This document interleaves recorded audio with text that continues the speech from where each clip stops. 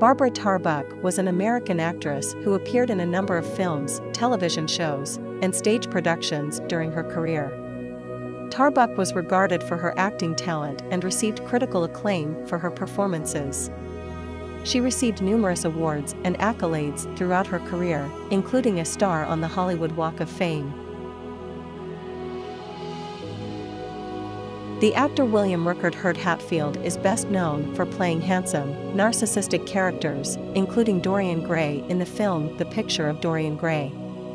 After celebrating Christmas dinner at a friend's house, he had a heart attack in his sleep and died at the age of 81.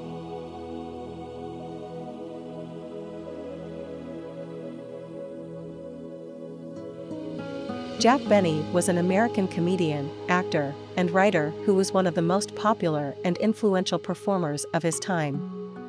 He was known for his clever wit and satirical humor, and was a master of physical comedy. He received numerous awards and accolades throughout his career, including a star on the Hollywood Walk of Fame.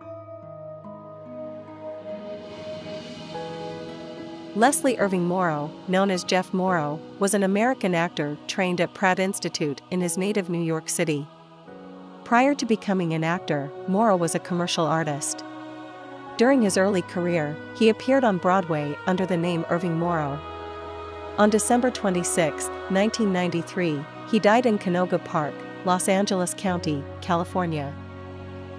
After establishing himself as a British film actor in Germany and Britain, John Loder migrated to the United States to work in the new talkies in 1928. In 1947, he became an American citizen. After living in Argentina, he became a naturalized British citizen in 1959.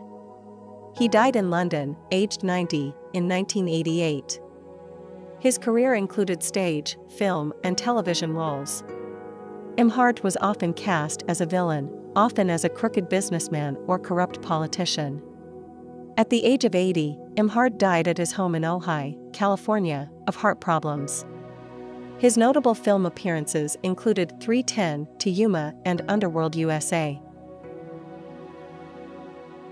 Known for his appearances in more than 70 movies, television series, and plays, Robert Lowery was the second actor to play Batman in DC Comics after Lewis Wilson, starring in the 1949 Batman and Robin serial.